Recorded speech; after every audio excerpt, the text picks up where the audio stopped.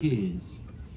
Let's give a round of applause for Glendora Tartan Marching Band and Pageantry. Let's go.